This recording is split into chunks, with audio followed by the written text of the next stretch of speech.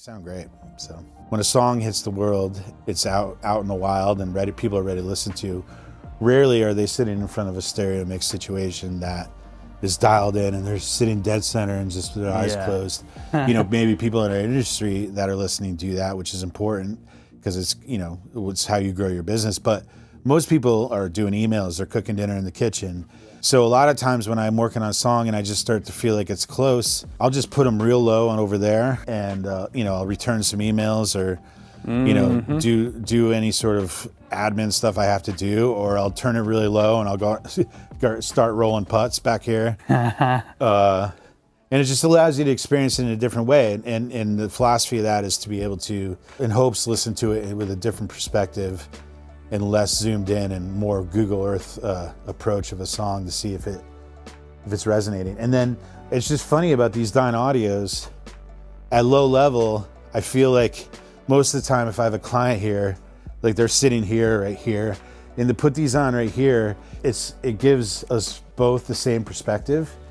I, although I love these Dutch and Dutch, like, and they're very dispersive and they sound great. Sometimes they don't give the best story of what the song's going on, uh, what's going on in the song, if you're not dead center in mixed position. Yeah. These are a little seem a little bit more omni, if you will, and just a little bit more of an expression of the sound that like that we both can hear the same way. You know, when I grew up, started tracking in, in, in the tri-state area and stuff. Often I was at a Pro Tools, Pro Tools rig, you know, with the console facing me, and I'd be like making edits and doing stuff, and the speakers would be to my right or my left, depending on the situation. Yeah. So there's also an aspect of me getting used to that. And there's a bit of a comfort to be able to just listen to music on those sides because for so many years I was just tracking in those situations, making edits or doing whatever I had to do with the speakers to the right or left of me. So that's that's probably a part of it too.